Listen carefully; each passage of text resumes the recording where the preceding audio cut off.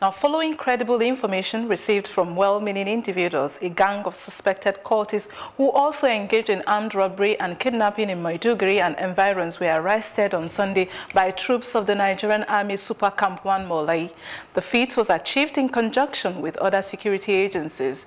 The alleged cultists were about to perform an initiation rite on some new members into their confraternity when the army troops and other security personnel stormed their hideouts in Maiduguri.